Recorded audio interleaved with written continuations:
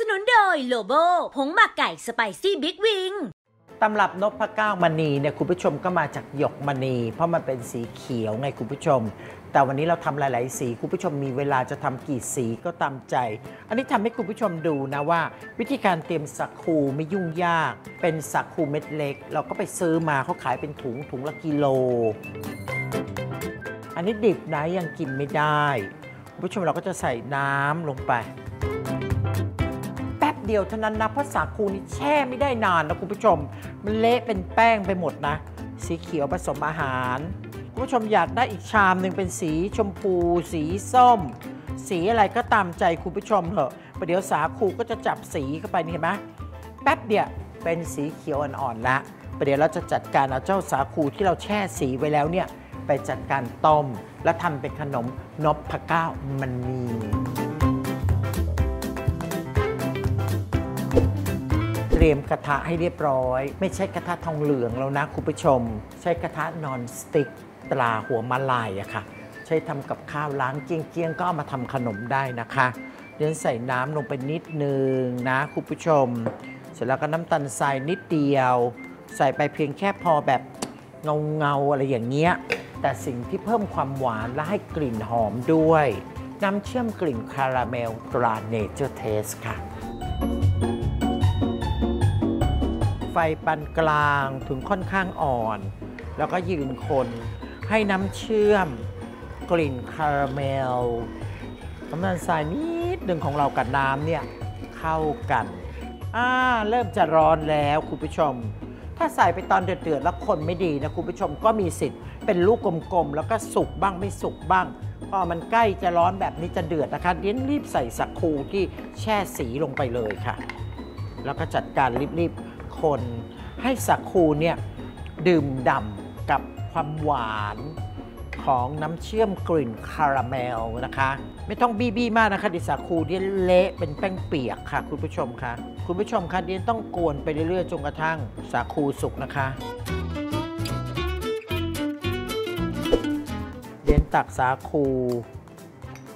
ที่เป็นสีม่วงนะคะ สาคูค่ะ คุณผู้ชมค่ะ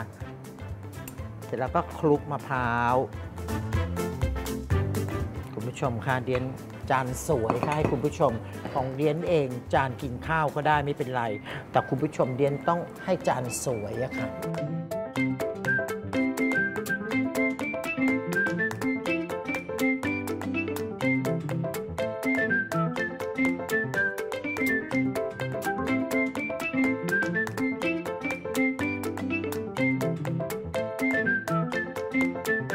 แต่เราไม่ได้รับประทานแบบแค่นี้นะคะเดี๋ยวเรายังต้องมีกะทิราดมีอะไรต่อมีอะไรมาดูสวยงามค่ะ พอเราปั้นขนมนพเก้ามณีเสร็จนะคะคุณผู้ชม อันนี้ถือว่าโอเค ช่วงนี้ทำขนมง่ายมาก เมื่อก่อนนั้นเดี้ยนต้องรอค่ำคืนค่ะ เพื่อได้ให้ได้กลิ่นหอมของแบบอบควันเทียน ตอนนี้เดี้ยนเปิดขวดก็ได้เลยนะคะอัมพวากะทิอบควันเทียนค่ะเหมือนเดี้ยนอบเทียนเองเลยอะค่ะ คุณผู้ชม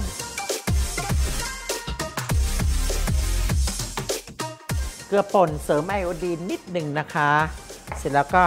ขออนุญาตใส่แป้งข้าวโพดลงไปหน่อยหนึ่งหม้อที่ใช้เป็นหม้อด้ามไวทลัก 3 ชั้นขนาด 18 เซนติเมตรปลาหัวมาลายค่ะเรียนใช้เพราะว่าหนึ่งมันกระจายความร้อนดี แล้วไม่ต้องกลัวว่ามันจะไหม้ขอบหม้อแล้วก็ด้ามจับอย่างเงี้ยค่ะ ถนัดมือ เอียงไปเอียงมาได้ แล้วที่สำคัญตรงนี้ร้อนใช่ไหมคะ ด้ามไม่ร้อนค่ะ คุณผู้ชม คนแป๊บหนึ่ง เอาละคุณผู้ชมคะส่วนผสมของกะทิเดี้ยนเดือดเรียบร้อยเดี้ยนเป็นคนใส่กะทิเยอะอะค่ะคุณผู้ชม บางคนก็หยอดนิดหนึ่งพอเป็นวิธีนะคะ แต่เดี้ยนเรียนคุณผู้ชมว่าเดี้ยนชอบอย่างนี้เลยอะค่ะ คุณผู้ชมก็คงจะต้องเรียนแบบแน่เลยค่ะเดี้ยนเป็นคนชอบอย่างนี้ค่ะ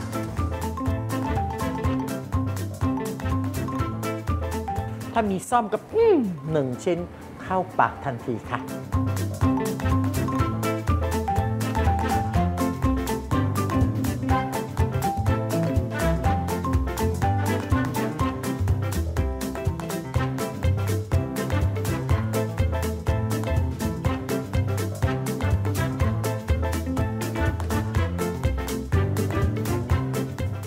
อร่อยแบบไทย ๆ ไปแล้ว คุณผู้ชมอย่าลืมช่วงหน้า เรามีความอร่อยแบบฝรั่งฝรั่งมาฝากคุณผู้ชมนะครับคุกกี้แครนเบอรี่อาจารย์เมย์กับน้องนานาพร้อมแล้วครับ นานาและอาจารย์เมย์มีสูตรคุกกี้ที่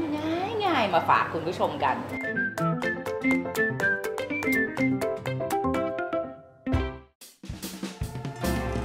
ช่วงอร่อยหลากสไตล์สนับสนุนโดยผลิตภัณฑ์ตรา Nature Taste วันนี้เรามีเมนูกล้วยเชื่อม mix berry ใส่ mix berry fruit based preparation ตรา Nature Taste ลงในภาชนะ ตามด้วยน้ำคนให้เข้ากันนำขึ้นตั้งไฟ คนจนส่วนผสมเดือด ใส่กล้วยน้ำว้า ต้มโดยใช้ไฟอ่อน เคี่ยวจนกล้วยกลายเป็นสีแดงหรือสุกนุ่มแล้วปิดไฟ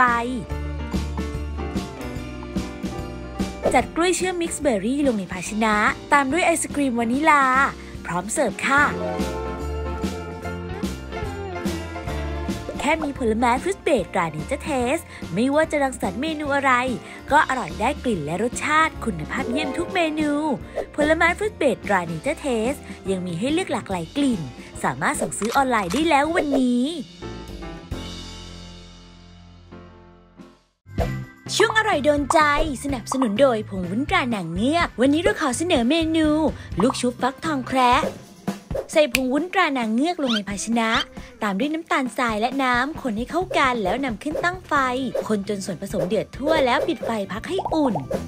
ใส่ถั่วเขียวซีกและเปลือกนึ่งสุกลงในโถปั่นตามด้วยเนื้อฟักทองกะทิสำเร็จรูป น้ำตาลทรายและเกลือป่นเสริมไอโอดีน ปั่นจนส่วนผสมเนียนละเอียด เทส่วนผสมที่ได้ลงในภาชนะนำขึ้นตั้งไฟโดยใช้ไฟอ่อน กวนจนกระทั่งส่วนผสมร้อนจากภาชนะแล้วปิดไฟพักไว้จนเย็น ชั่งน้ำหนักถั่วกวนก้อนละ 20 กรัม ขึ้นรูปเป็นทรงฟักทอง และก้าน ทาด้วยสีผสมอาหารที่เตรียมไว้ให้เป็นผลฟักทอง พักจนสีผสมอาหารแห้ง ชุบฟักทองกับบุ้นเคลือบพักไว้จนเย็นทำซ้ำประมาณ 3 ครั้งจนขึ้นเงาสวยงาม เกร็ดความรู้การทำวุ้น การเคลือบลูกชุบกับวุ้นต้องเคลือบมากกว่า 1 ครั้ง เพื่อให้วุ้นเกาะตัวกับถั่ว จะได้ความหนามีลักษณะเงางาม แต่ใส่ภาชนะพร้อมเสิร์ฟกับเมนูลูกชุบฟักทองแคระเมนูโดนใจจากผงวุ้นตราหนังเงือก